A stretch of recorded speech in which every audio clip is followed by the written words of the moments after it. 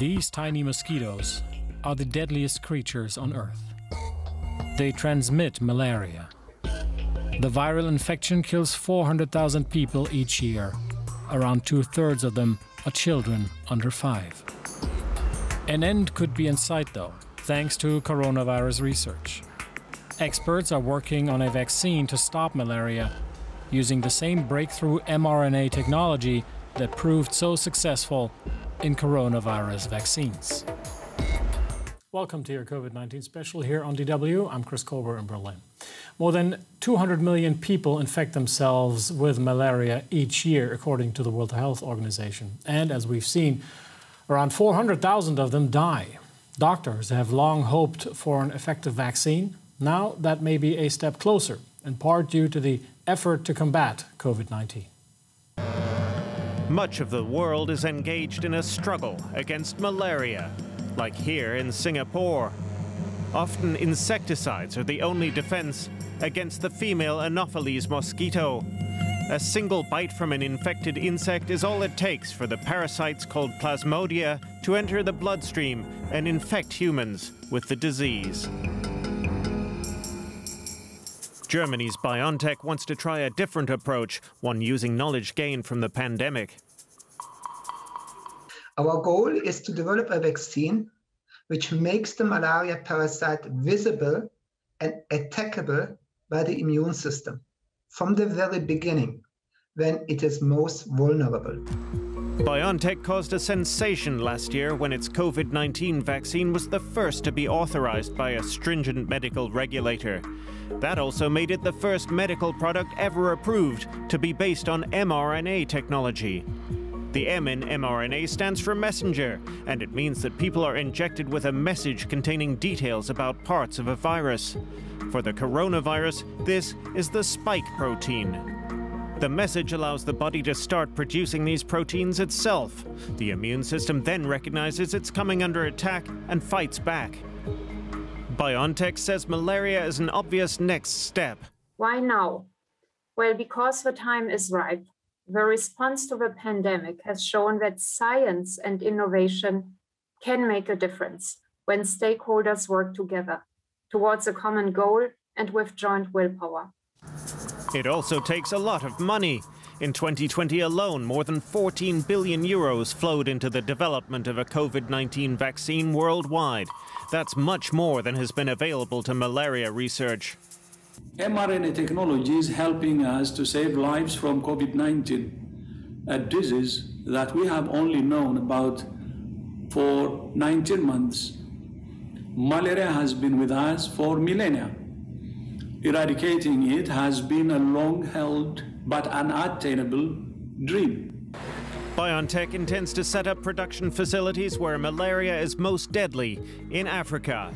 But first, clinical studies for the new vaccine must be carried out, and they could start as early as next year. Let's unpack this with Alex Dainis. She's a geneticist and a science communicator. She joins me from LA. Welcome uh, to COVID 19 special here on DW, Alex. In 2019, more than 400,000 people died of malaria, according to the World Health Organization, with children under five accounting for two thirds of the fatalities. How hopeful are you that an RNA vaccine will help tackle this disease? I'm actually very hopeful. You know, there hasn't been a lot to be very hopeful about over the past year, but I think one of the great things that we've seen is huge improvements in RNA vaccine technology. This is something that many people have been working on for decades, and I'm very encouraged to see it now being applied towards other diseases beyond COVID 19 with all the different things we've learned over the past year. Uh, let's stick uh, uh, to malaria here for a second. Experts say that developing a vaccine against malaria will be tricky because the parasite causing the disease is more complex than viruses. Do you agree?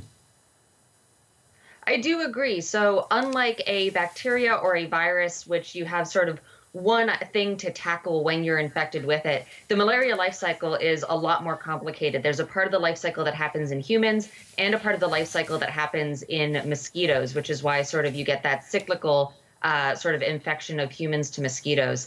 And there are many different life stages of that parasite throughout. So it's not just one thing that we're trying to tackle. We really have to focus in on perhaps a specific life stage, a specific part of that uh, sort of cycle. So it is a much more complicated thing because it is a parasite rather than a bacteria or a virus.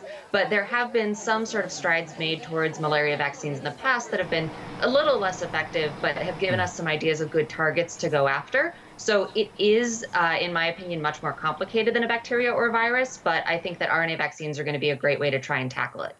Now, the road to success here could be provided uh, by the messenger RNA technology, which, ha which has been around uh, for some time.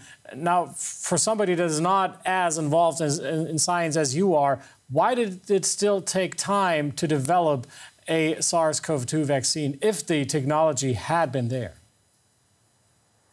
You know, we really had been working sort of the scientific community on RNA vaccines for a couple of decades, but there were a few large challenges that we had to overcome in the past five years or so to actually take it from something that was a prospective technology to something that could actually work. There were a few key challenges around both stability and delivery of that RNA which had been just about solved at the end of 2019, sort of 2018, 2019. And then it really took the concerted effort of so many people around the world mm. coming together to tackle SARS-CoV-2, uh, both from a resource, you know, of people and a resource of money and time perspective, to really push that technology over the finish line and get it to our first uh, sort of really working RNA vaccines. So, in broad words, what are the advantages here of the mRNA technology compared to others?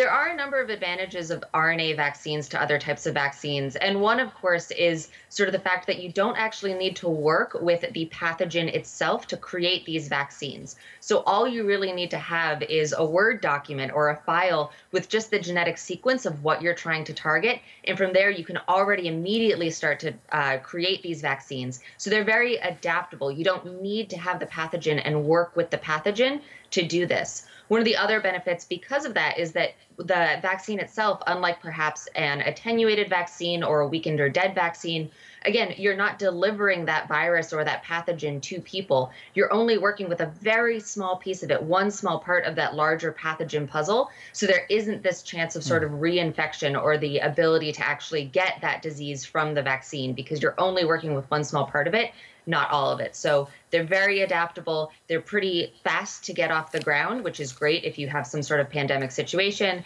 And they're uh, they have a much more uh, sort of broad safety profile because of a couple of those things. Now, malaria has gotten into focus, as has cancer, as a possible disease that could be addressed with this technology. Uh, this all seems highly ambitious and basically from one day to the next.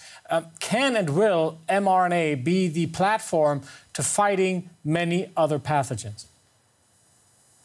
So, if I had a crystal ball to tell you that, you know, I would certainly be uh, in a great position. But so while I can't say that for certain, I'm very, very encouraged by the work we've seen on RNA vaccines over the past year.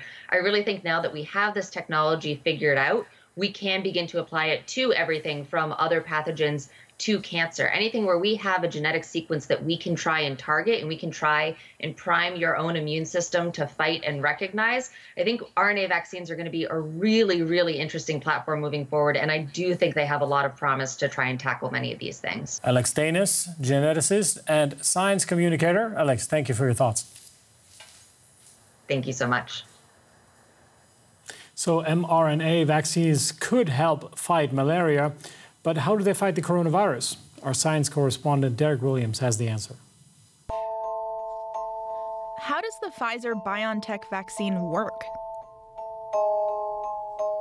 I've answered this before, but the question is posted again and again, so I guess it's maybe time to go over the details again. Um, two of the vaccines that have now been widely approved, uh, one developed by BioNTech and Pfizer, and one produced by Moderna are what are called messenger RNA or mRNA vaccines. Now, the technology behind them has been at the focus of a lot of research for decades, but, but this is the first time they've received widespread approval from healthcare authorities. Um, unlike vaccines based on traditional platforms, uh, ones that, for example, use inactivated versions of the virus. Uh, the BioNTech Pfizer vaccine leads to an immune response in the body by delivering information in the form of a special molecule, um, messenger RNA. mRNA molecules are, are single stranded chains of what are called nucleotides that fulfill a, a, very important function in cells. They're, they're kind of the blueprints for making proteins and act as messengers between a cell's headquarters in the nucleus and its protein building factories out in the cytoplasm, hence, hence the name. Uh, but the protein these new mRNA vaccines encode for isn't a human one. It's a protein made by the coronavirus. And when that mRNA is injected, it causes your cells to begin making that viral protein. And that viral protein provokes an immune response, just as if you'd caught COVID 19 sending in the pretty simple, quick to produce mRNA code molecules to make these complicated proteins and getting the body to do the work is a great solution to a complex problem. And, and there are high hopes that mRNA vaccines, uh, which, which, seem to have finally come into their own, um, are now set to, to revolutionize a range of fields in medicine. Now, here in Germany, the new school year has begun in some states, and with the return to classroom instruction, health officials and politicians are calling for children between the ages of 12 and 17 to get vaccinated against the coronavirus. It's a controversial appeal since the country's vaccine authority has only explicitly recommended the jab for members of the age group if they suffer from certain chronic illnesses. That's our show for now. Thanks for watching. Stay safe and see you back here tomorrow.